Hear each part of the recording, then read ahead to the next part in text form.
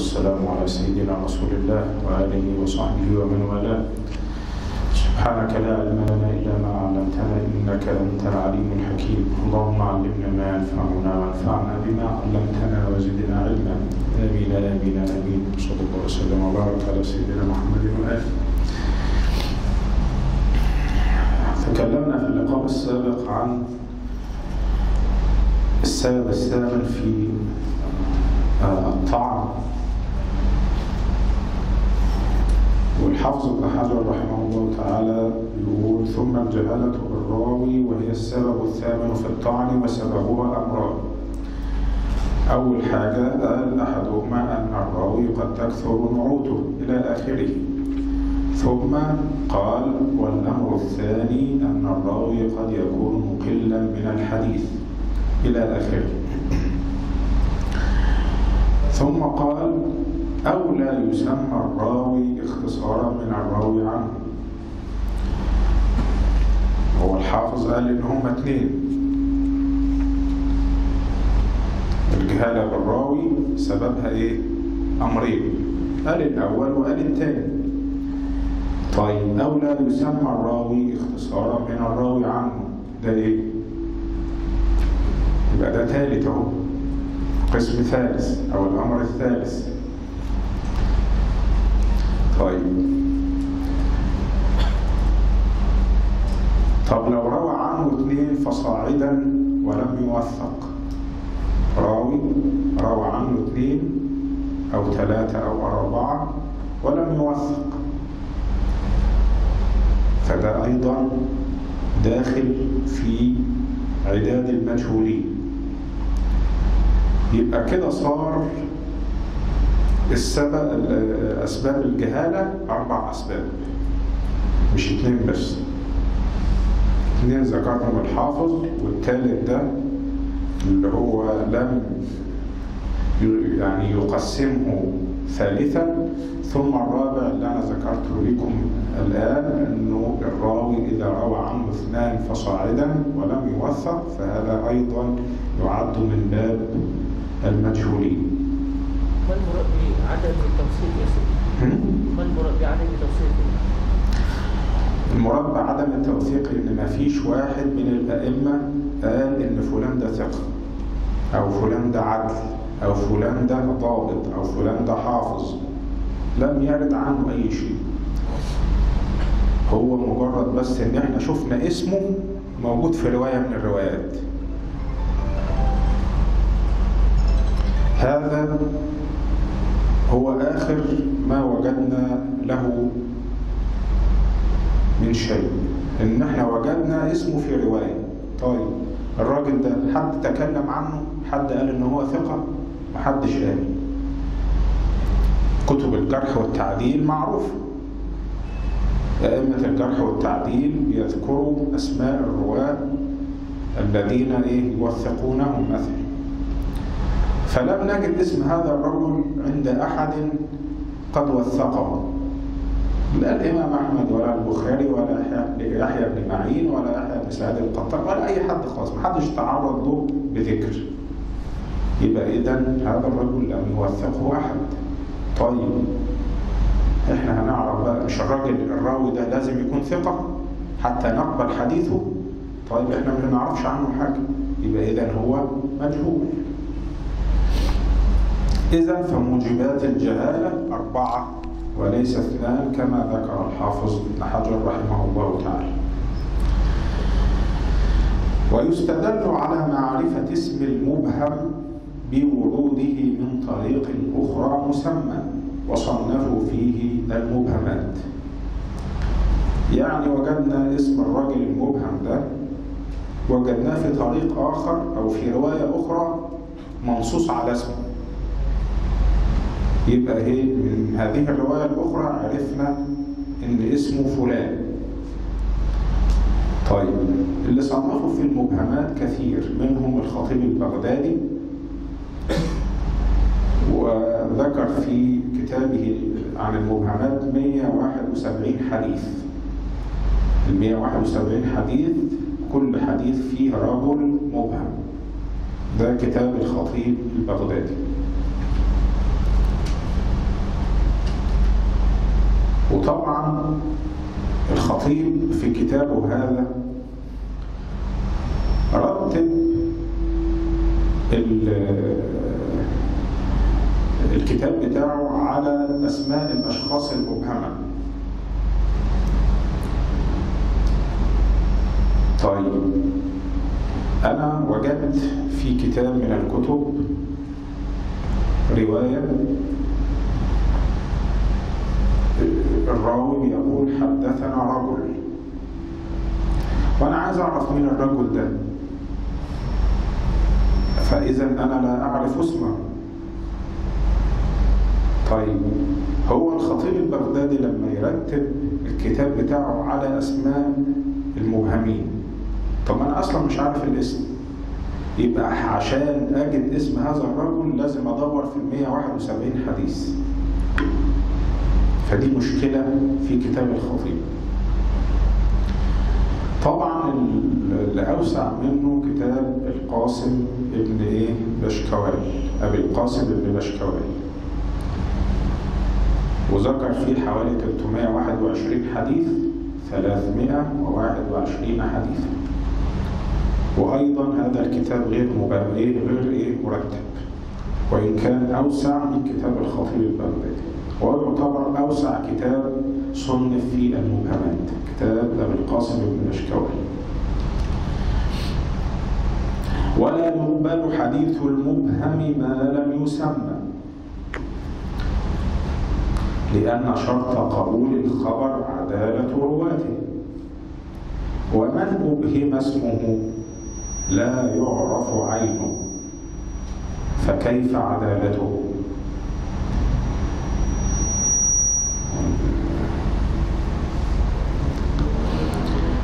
ف إذا إحنا ما كناش عارفين اسم الراوي ده هنقبل خبره إزاي؟ وأنت مش عارف عنه أي حاجة. وإحنا قلنا في في البداية خالص إنه شرط لقبول الرواية من أحد شروط تصحيح الرواية إنه إيه؟ أن يكون الراوي ثقة. طب هو إحنا مش عارفين هو مين أصلا؟ يبقى هنعرف إذا كان ثقة ولا غير ثقة إزاي؟ فشرط قبول الخبر عدالة رواته ومن أبهم اسمه لا يعرف عينه. مش عارفين هو مين. فكيف عدالته؟ إذا كنا إحنا مش عارفين اسمه هنعرف إذا كان عدل أو غير عدل ثقة أو غير ثقة؟ كيف هذا؟ وكذا لا يقبل خبره ولو أبهم بلفظ التعديل. كأن يقول الراوي عنه أخبرني الثقة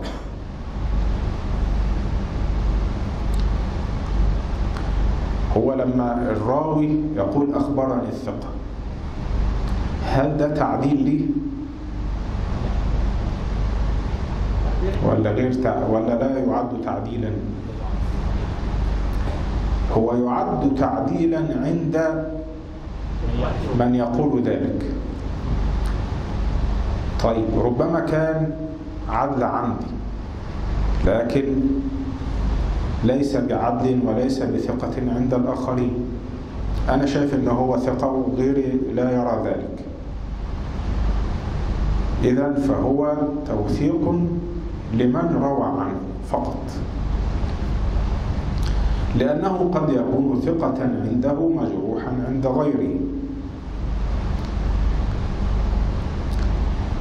طيب بعض الأئمة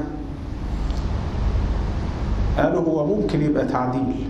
إزاي؟ إذا كان هذا الراوي لا يروي إلا عن ثقة. معروف أن هذا الراوي لا يروي إلا عن ثقة. مثل مين؟ الشيخين أصحاب الصحيح البخاري ومسلم لا يروون إلا عن ثقة. فإذا مثلا قال البخاري حدثني الثقة فهذا توثيق من البخاري له. ومعروف أن البخاري لا يروي إلا عن ثقة بل هو متشدد في شروط التوثيق. لكن إذا لم يكن هذا الراوي معروف عنه إن هو يروي لا يروي إلا عن ثقة بل يروي عن الثقة وغيره يبقى هذا لا يعد إيه؟ توثيقا ولا يقبل منه توثيقا. والكلام ده اللي قلنا عليه في الآخر اللي هو زي الشيخين إن هو يكون الراوي لا يروي إلا عن ثقة هذا اختيار ابن الجزري رحمه الله تعالى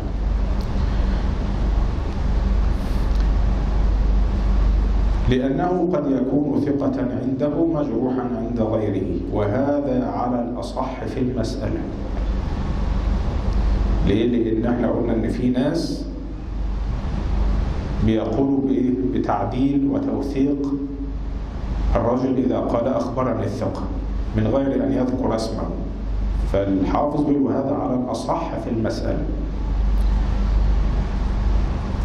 ولهذه النكتة لم يقبل المرسل ولو أرسله العدل. جازما به لهذا الاحتمال بعينه إيه هو الاحتمال؟ إن هو قد يكون ثقة عنده مجروحا عند غيره. وقيل يقبل تمسكا بالظاهر. إذ الجرح خلاف الأصل على خلاف الأصل. فالظاهر أن أن الناس كلهم عدول إلى أن يتبين لنا خلاف ذلك. فاللي هيقول بهذا التوثيق يبقى هو بيأخذ على الظاهر. والجرح خلاف الأصل وهذا الرجل لم يرد فيه جرح. هذا الرجل لم يرد فيه جرح. غاية ما فيه أن هذا الرجل وثق ولا نعرف اسمه. واخد بالك؟ لكن هل ورد فيه جرح؟ لم يرد فيه جرح. فقالوا خلاص يبقى إحنا هنمشي على الأصل أن الناس كلهم عدول. وخاصة أنه لم يرد فيه جرح. يبقى هنأخذ بالظاهر. وقيل إن كان القائل عالما أجزأه ذلك في حق من يوافقه في مذهبه.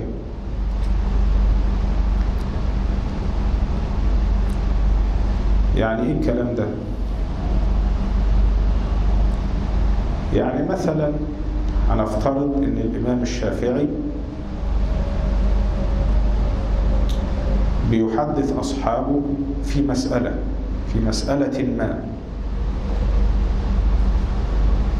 وأورد لها حديثا يحتج به وفيه رجل مبهم. أو أن يقول الإمام الشافعي وهذه كثيرا ما كان يفعلها يقول أخبرني الثقة.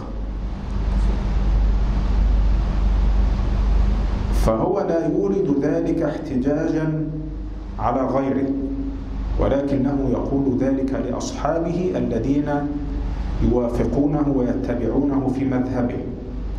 فهو يقول لهم احتجاجا واستئناسا بهذا الخبر على أو يدل, يدلل بهذا الخبر على صحة مذهبه ولكن لا يحتج به على الآخر يقوله لأتباعه. فهنا إن كان القائل عالما أجزأه ذلك في حق من يوافقه في مذهبه. لأنه يذكر لأصحابه قيام الحجة عنده على الحكم. وهذا ليس من مباحث علوم الحديث. يعني ممكن ده نعد من مباحث علوم الأصول ونحو ذلك. والله تعالى الموفق. فإن سمي الراوي وانفرد راو واحد بالرواية عنه فهو مجهول العين هنا الراوي عرفنا اسمه اسمه معروف ولكن لم يروي عنه إلا راو واحد فقط. فده بنسميه إيه؟ مجهول العين طبعا هذا بخلاف الصحابة. لأن ممكن بل هو موجود فعلا. أحاديث لبعض الصحابة وهذا الصحابي لم يروي عنه إلا تابعي واحد فقط. فهذا غير داخل معنا في هذه القصة. ليه؟ لأن الصحابة كلهم عدول. فإن سمي الراوي الراوي وانفرد راو واحد بالرواية عنه فهو مجهول العين طبعا ده تابع للقسم الثاني اللي هو في الصفحة صفحة 100 اللي هو الأمر الثاني أن الراوي قد يكون مقلا من الحديث. فهو هنا الراوي راوي واحد بس هو اللي روى عنه. فيعتبر إيه؟ مقل. إن واحد بس هو اللي روى عنه. فهو مجهول العين. كالمبهم. يعني زي مثل مثل المبهم. إلا أن يوثقه غيره. أو إلا أن يوثقه غير من ينفرد به عنه على الأصح. يعني اللي روى عنه ده سيبك منه دلوقتي. وجدنا واحد من الأئمة من أئمة الجرح والتعديل وثق هذا الذي انفرد عنه راو واحد. يبقى في هذه الحالة نأخذ بهذا التوثيق. لا نأخذ بتوثيق من روى عنه لا. يكون هذا الذي وثقه منفصل وليس له تعلق بهذه الرواية. ولكن إيه بشرط أن يكون من أئمة الجرح والتعديل. هذا الذي يوثق الراوي الذي انفرد عنه واحد؟ شرط أن يكون الموثق من أئمة الجرح والتعديل. وكذا من ينفرد عنه إذا كان متأهلا لذلك. طب إذا كان الراوي عنه ده من من الأئمة من أئمة الجرح والتعديل ووثقه يبقى إيه هناخد بهذا التوثيق واضح الكلام ده؟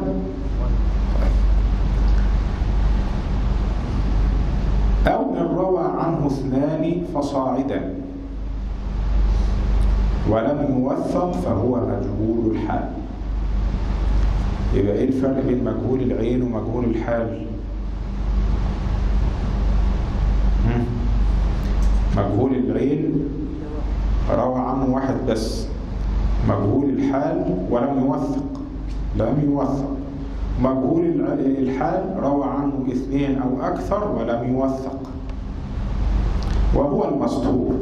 يبقى مجهول الحال هو المستور. هو هو. آه مترادفان. يبقى لما تيجي تجد في كتب الجرح والتعديل عندما يتكلم عن الرواية يقول وفلان مستور. يبقى تعرف إن المستور ده هو مجهول الحال. طبعا هو بيقول وإن روى عنه اثنان فصاعدا. ابن الصلاح قال إن الاثنين دول لازم يكونوا عدول. الاثنين اللي بيروى عنه دول لازم يكونوا عدول. وهنا في عبارة للخطيب البغدادي رحمه الله تعالى بيقول فيها إيه؟ أن أقل ما يرفع الجهالة عن الراوي أن يروي عنه اثنان. فصاعدا من المشهورين من أهل العلم.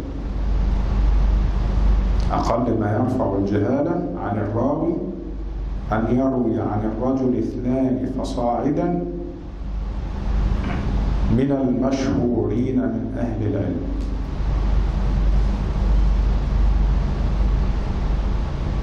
يبقى في هنا إيه شرطين؟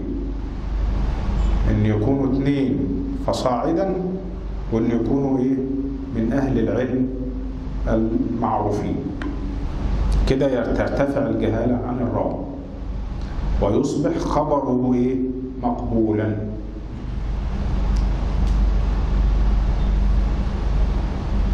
طيب. وقد قبل روايته اللي هو مين بقى؟ مجهول الحال أو المسطور جماعة بغير قيد. من الجماعة دول؟ منهم ابن فورك وسليم الرازي وغيره. وردها الجمهور. يعني الجمهور على رد رواية مجهول الحال أو المستور يبقى الرواية اللي فيها راوي مجهول الحال أو مستور رواية ضعيفة مردودة. وإن كان قد قبلها البعض إلى أن الجمهور على خلاف ذلك. والتحقيق أن رواية المستور ونحوه مما فيه الاحتمال. لا يطلق القول بردها ولا بقبولها. يبقى نتوقف فيها. لا نقبلها مطلقا ولا نردها مطلقا. بل يقال هي موقوفة إلى استبانة حاله. يعني نتوقف في هذه الرواية التي فيها مستور أو مجهول الحال إلى أن نتبين حاله بالبحث والتدقيق. طيب لم نجد من يتكلم عنه ولم نستطع إلى الاهتداء بحقيقة حاله. يظل التوقف كما هو. كما جزم به إمام الحرمين. إمام الحرمين قال إيه؟ لو في حكم على شيء إحنا نعتقد فيه الحل. نعتقد بحل شيء. لا لورود دليل فيه ولكن للبراءة الأصلية. لم يرد فيه دليل. فنحن نحكم بالبراءة الأصلية على هذا الشيء أنه حلال. واضح؟ ثم جاءت رواية فيها رجل مستور أو مجهول الحال. هذه الرواية تفيد تحريم ذلك الشيء.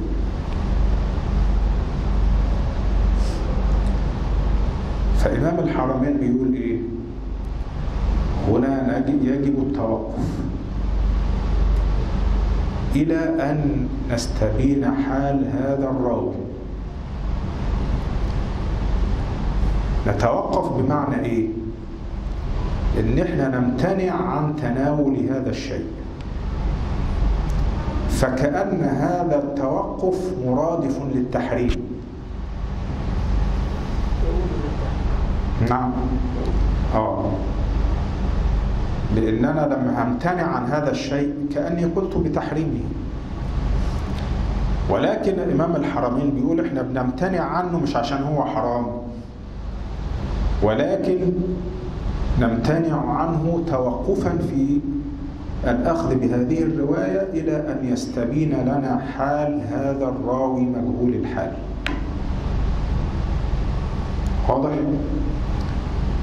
التاج السبكي في شرح البرهان رد على الكلام ده قال له لا. إزاي إحنا نترك دليل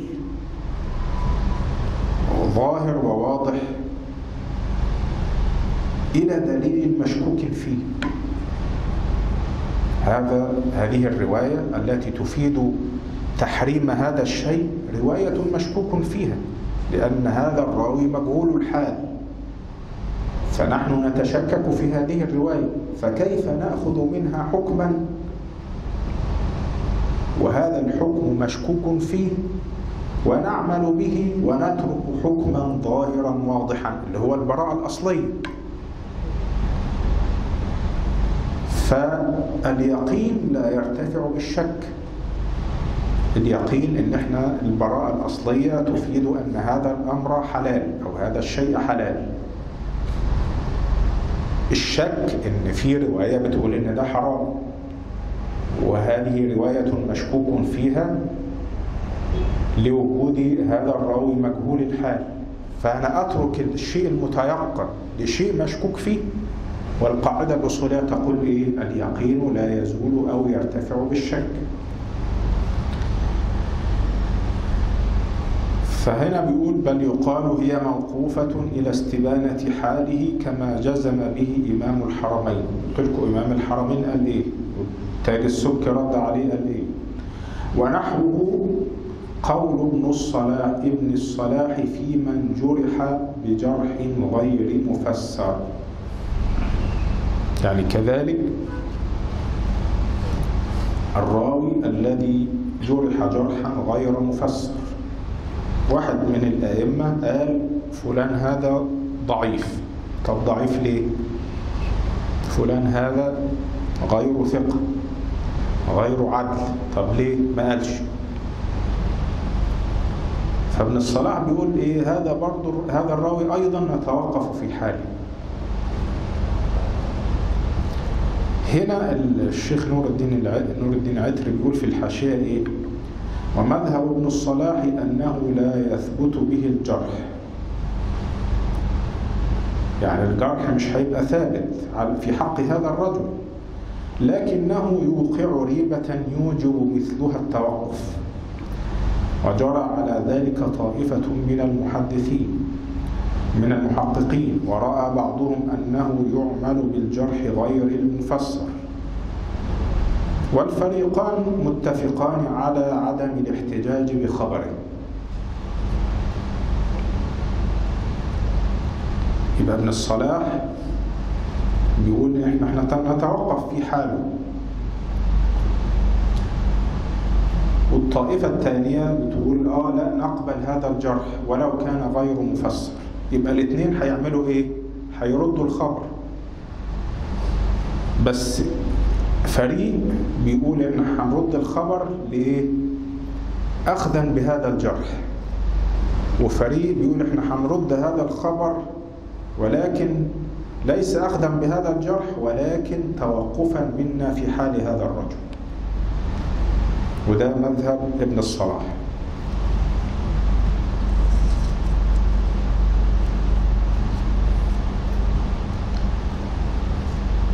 ثم البدعة.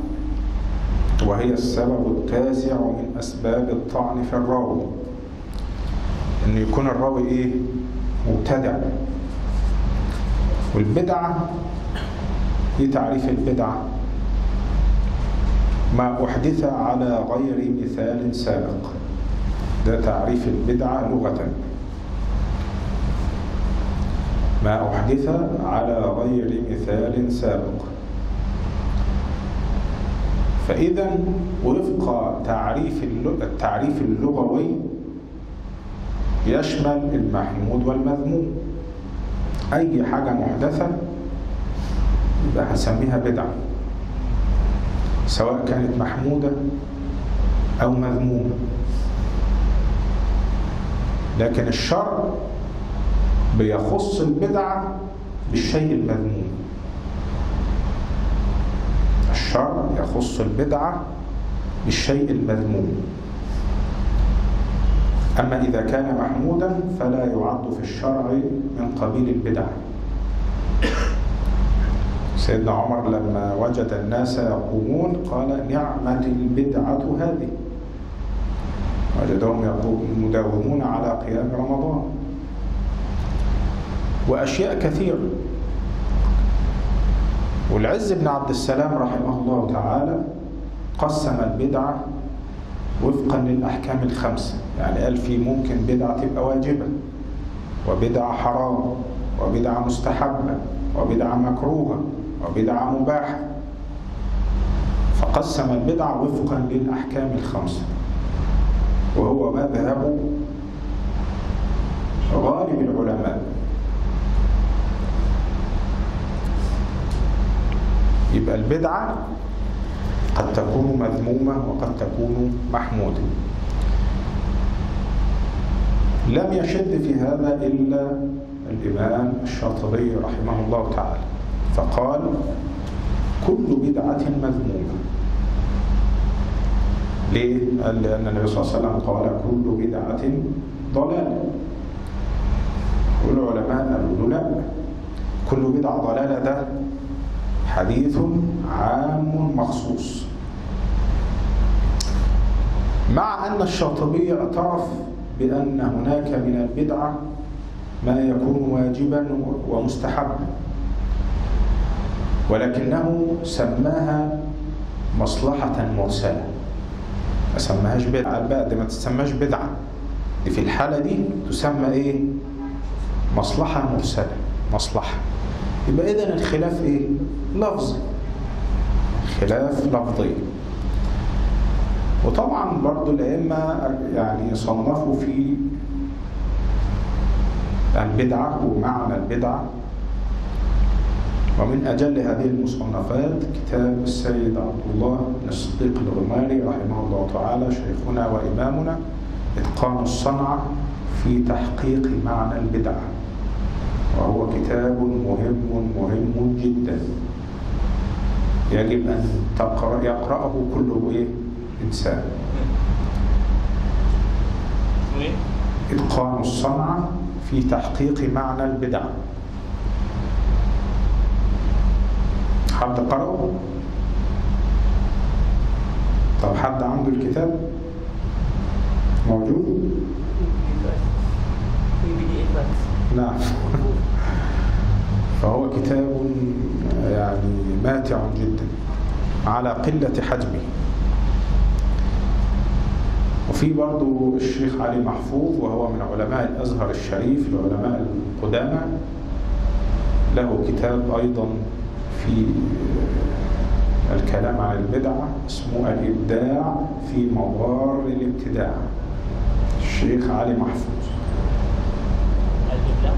الإبداع؟ في مضار الابتداع.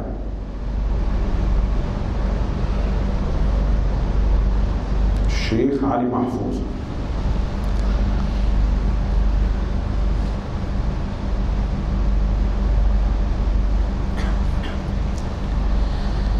ثم البدعة وهي السبب التاسع من أسباب الطعن في الراوي وهي إما أن تكون بمكفر كأن يعتقد ما يستلزم الكفر أو بمفسق.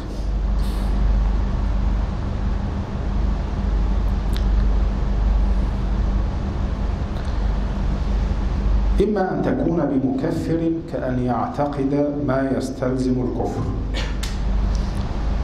إذا هو في حقيقته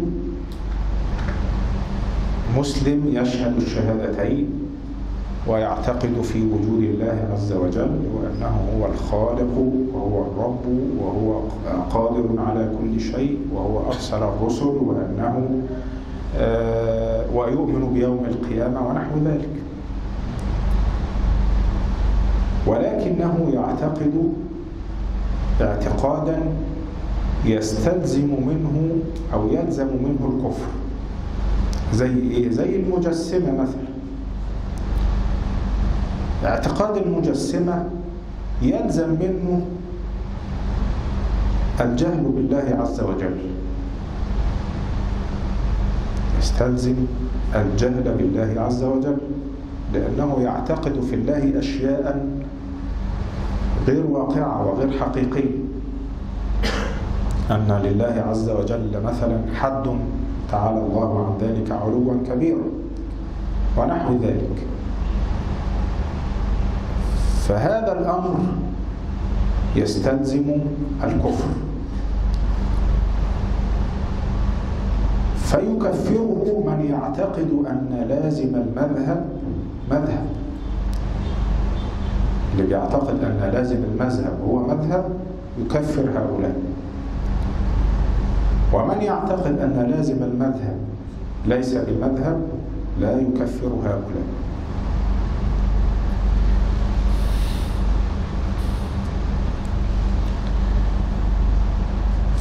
فهو بيقول إما أن تكون بمكفر كأن يعتقد ما يستلزم الكفر. زي ما قلنا إيه؟ المجسمة مثلا. ففي بعض العلماء قال لك إيه؟ إن مثلا الجهل بالله تعالى من بعض الوجوه لا يستلزم الكفر. يعني مش شرط إن هو عشان يبقى يعني في بعض الأشياء يجهلها عن الله عز وجل هذا لا يستلزم كفره.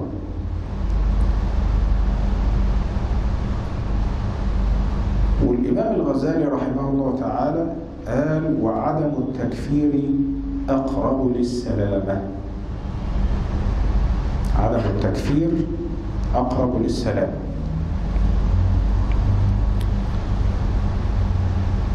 لأن موضوع التكفير ده الإقبال عليه أمر في غاية الخطورة.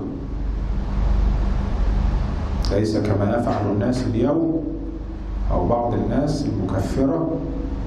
أسهل شيء عنده التكفير. يعني كأنه يعني بيقول إيه السلام عليكم. يروح حكم عليك بالكفر على طول.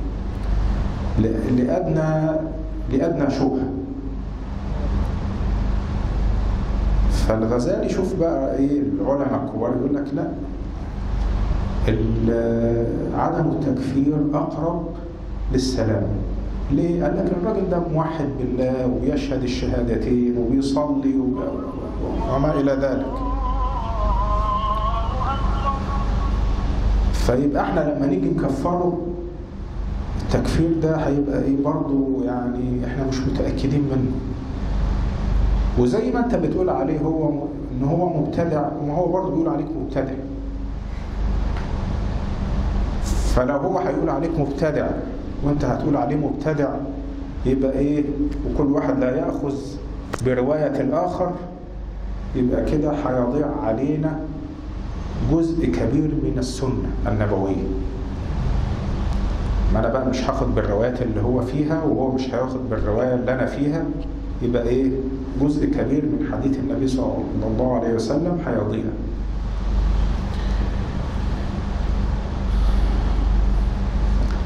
كأن يعتقد ما يستلزم الكفر أو بمفسق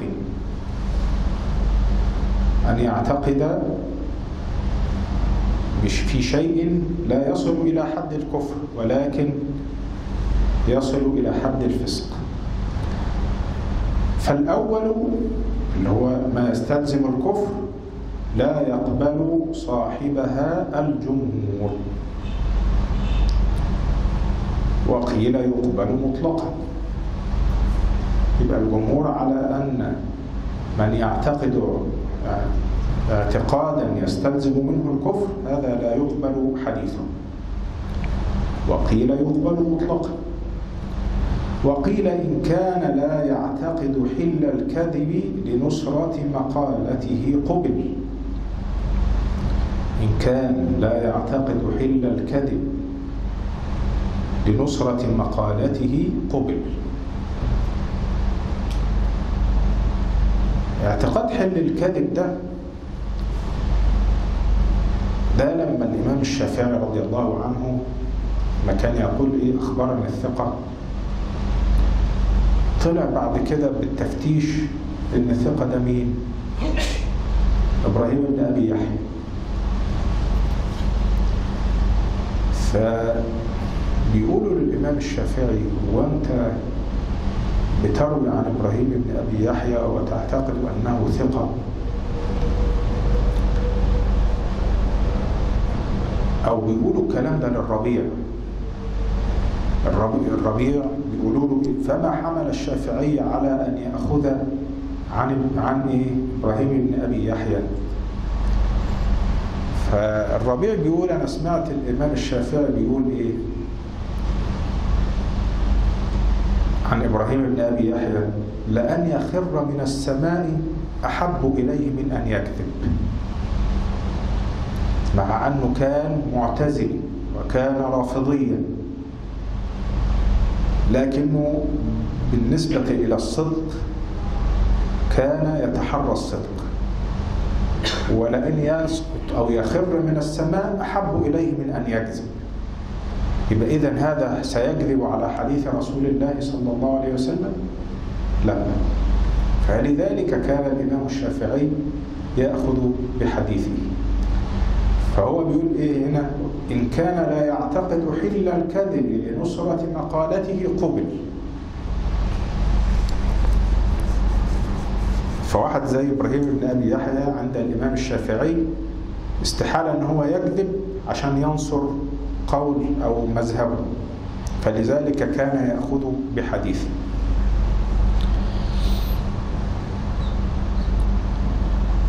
والتحقيق أنه لا يرد كل مكفر ببدعة. يعني كل واحد اتهم بالكفر لبدعته. إن إحنا نرد حديثه؟ لا. ليه؟ لماذا؟ لأن كل طائفة أهو تدعي أن مخالفها مبتدعة. زي ما أنا بدعي عليه إن هو مبتدع هو بيقول عليها مبتدع. وقد تبالغ فتكفر مخالفها. فلو أخذ ذلك على الإطلاق لاستلزم تكفير جميع الطوائف. فكل المسلمين أصبحوا كفر. ده بيكفر ده وده بيكفر ده يبقى كله كفر. ولما يبقى كله كفر محدش هياخد برواية الآخر. يبقى هيضيع جزء كبير من سنة النبي صلى الله عليه وسلم. فالمعتمد أن الذي ترد روايته من أنكر أمرا متواترا من الشرع معلوما من الدين بالضرورة. واحد مثلا أنكر الصلوات الخمس واحد أنكر صيام رمضان واحد أنكر إن في زكاة وهكذا. هذا أمر متواتر معلوم من الدين بالضرورة. وكذا من اعتقد عكسه. فأما من لم يكن بهذه الصفة إنه لم ينكر شيئا معلوما من الدين بالضرورة أو لم ينكر شيئا متواترا. بالإضافة إلى ذلك انضم إلى ذلك ضبطه لما يرويه. ضابط لما يروي. مع ورعه وتقواه. فلا مانع من قبوله. وإن كان مبتدعا بدعة مكفرة.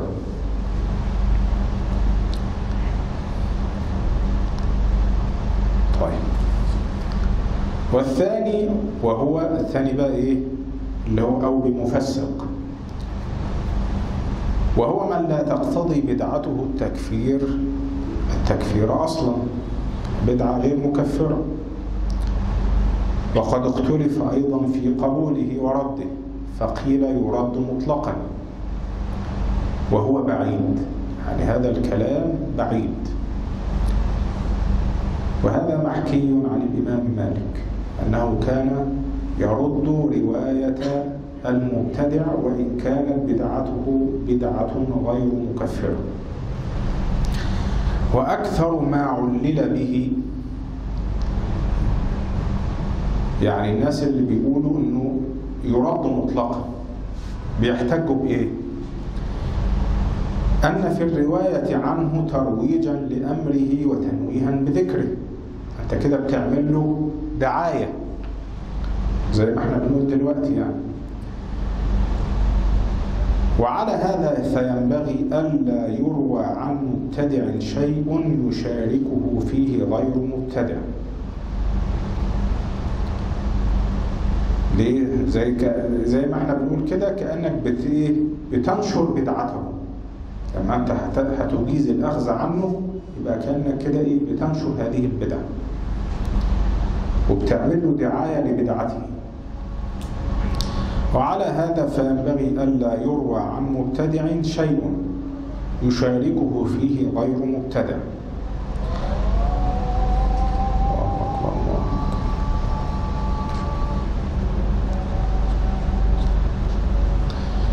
وقيل يقبل مطلقا. يعني نقبل روايته مطلقا. إلا إن اعتقد حل الكذب كما تقدم. واحد مبتدع ولكن هو بيقول بحل الكذب وبجواز الكذب. إحنا في هذه الحالة نرد روايته. وقيل من لم يقبل وقيل يقبل من لم يكن داعية إلى بدعته. يقبل من لم يكن داعية إلى بدعته. المفروض بقى إيه؟ داعيا إلى بدعته. لكنها تمشي. داعية إلى بدعته. طب داعية دي التاء دي إيه؟ هي أصلها إيه؟ داعي. فداعية التاء إيه بقى؟ سموها إيه؟ للنقل من الإيه؟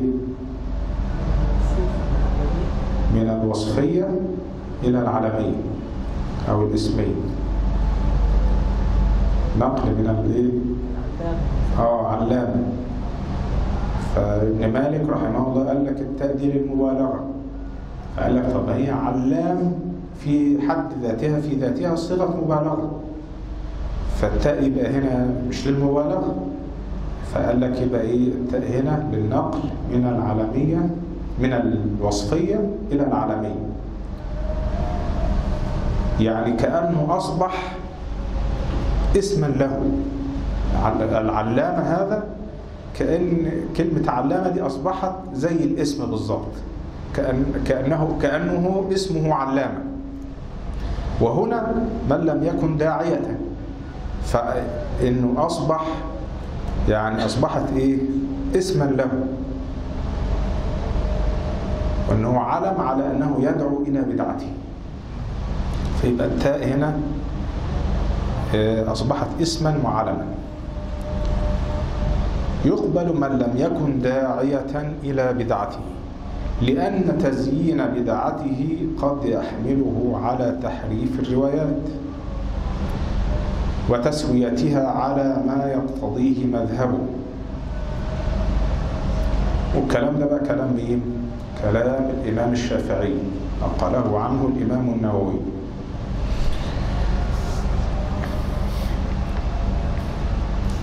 يبقى شرط قبول رواية المبتدع الذي بدعته غير مكفرة ألا يكون معتقدا حل الكذب وألا يكون داعيا إلى بدعته. فإذا فقد شيء من ذلك يبقى إيه؟ ها؟ ترد روايته. طيب. وهذا في الأصح. وإلا زي ما قلنا حن إيه؟ هنرد كثير من الروايات.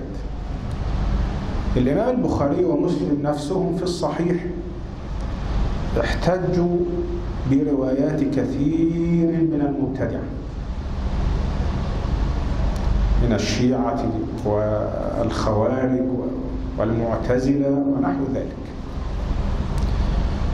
فالبخاري مثلا احتج بعمران بن حطان وكان من الخوارج. عمران بن حطان وكان من كبار الخوارج. وكذلك البخاري ومسلم احتجوا بمين؟ بعبد الحميد بن عبد الرحمن الحم الحماني. وكان معتزل كان مرجئا. يحيى بن عبد الحميد الحماني أو عبد الحميد الحماني هذا من المرجئة. احتج البخاري به في الصحيح واحتج به مسلم في مقدمة الصحيح. مقدمة صحيح. وغيرهم كثير. لكن هذا كمثال على احتجاج البخاري ومسلم بأناس وصفوا بالبدعة كالإرجاء والاعتزال والرفض والتشيع ونحو ذلك. طب إحنا لو قلنا بقى مش هناخد بكلام هؤلاء يبقى كل الروايات دي اللي في البخاري ومسلم هتردها. وهي فيها أحكام مهمة يبقى هترد هذه الأحكام كلها. وكل زي ما قلت بقى كل واحد في كل رواية فيها مبتدع هنردها يبقى إيه؟ جزء كبير من من السنة سيضيع. وأغرب ابن حبان فادعى الاتفاق على قبول غير الداعية من غير تفصيل. طبعا هو الحافظ بيقول إن ده غريب من ابن حبان وهو صحيح. هذا فيه نظر. من غير تفصيل من غير تفصيل أي بين ما يقوي بدعته وما لا يقوي. يعني إذا كانت الرواية دي هتقوي البدعة اللي بيقول بها فلا نأخذ به. أما إذا كانت ليس علاقة ليس لها علاقة بالبدعة التي يقول بها فنأخذ بروايته.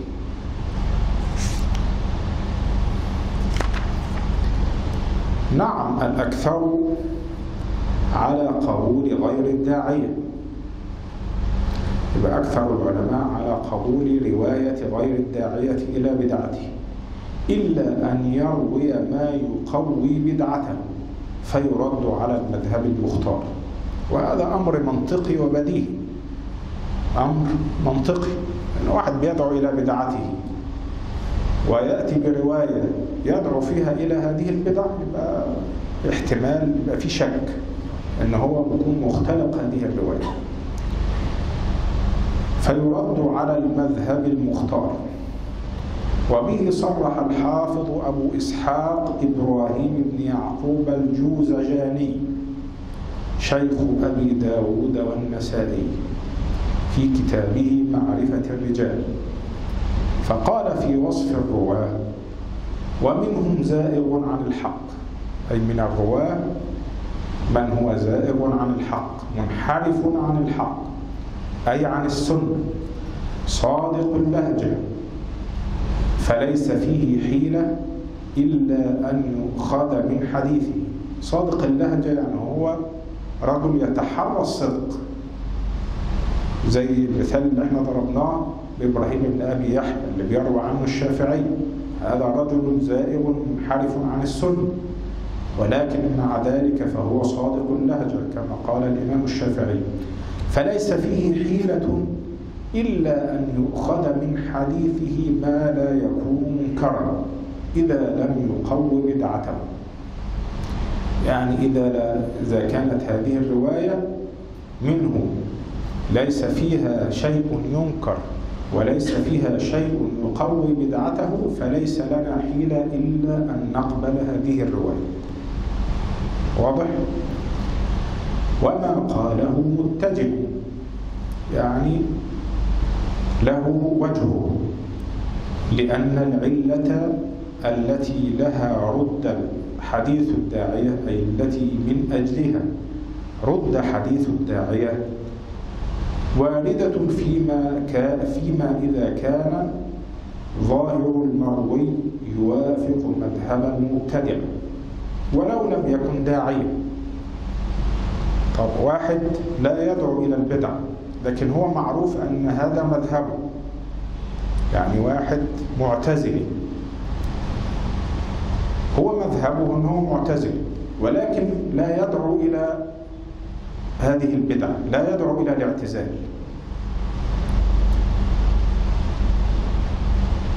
طيب. هذا المبتدع الذي ليس بداعية.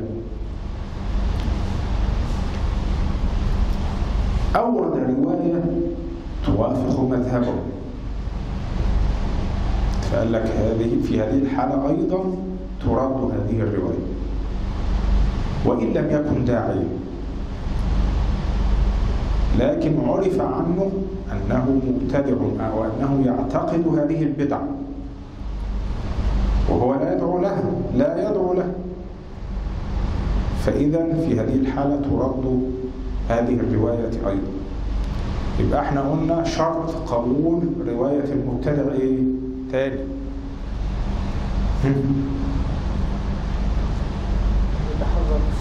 أن يكون متحريا للصدق. وألا يكون داعيا إلى بدعته. والحاجة الثالثة بقى إن هو لا يروي حديثا موافق لبدعته. ألا تكون هذه الرواية التي يرويها موافقة لبدعته. ثم بعد ذلك سيتكلم الحافظ عن السبب العاشر من أسباب الطعن وهو سوء الحفظ وهذا إن شاء الله نرجئه إلى المرة القادمة بإذن الله. سبحانك اللهم وبحمدك أشهد أن لا إله إلا أنت أستغفرك وأتوب إليك حد عنده سؤال؟ أو حد فاهم حاجة؟ فاهمين يعني؟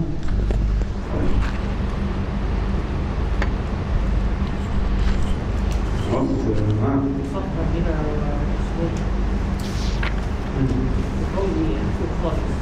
المبهم إلا أن يوثقه غير من ينفرد عنه على الأصح وكذا من ينفرد عنه إذا كان متأهلا متأهلا في في النقد. أي متأهلا في النقد وفي الجرح والتعديل زي ابن أبي حاتم يحيى بن معين الإمام أحمد. هؤلاء يسموا متأهلين. متأهل للجرح والتعديل متأهل للنقد.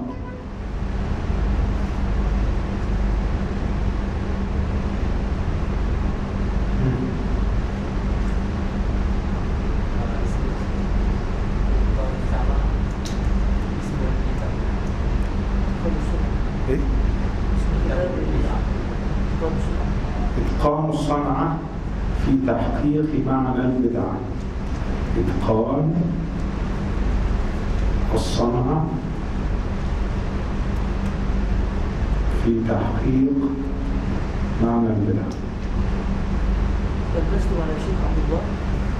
تلبست على شيخ. نعم ولله الحمد. الحمد لله. وأجازني. نعم. هو ليس الحريفة لا أزهري أخذ العالمية من الأزهر. العالمية القديمة. شيخ حافظ السيد عبد الله بن الصديق كان إماما مجتهدا حافظا يعني آه لم لم نرى مثله في العلم. آه. في علم الحديث والفقه وكل شيء. هو حتى كان كما فعل السيوطي كده كان دعا الاجتهاد في أكثر من علم. كان إماما حافظا مجتهدا يعني بقية السلف. رضي الله عنه.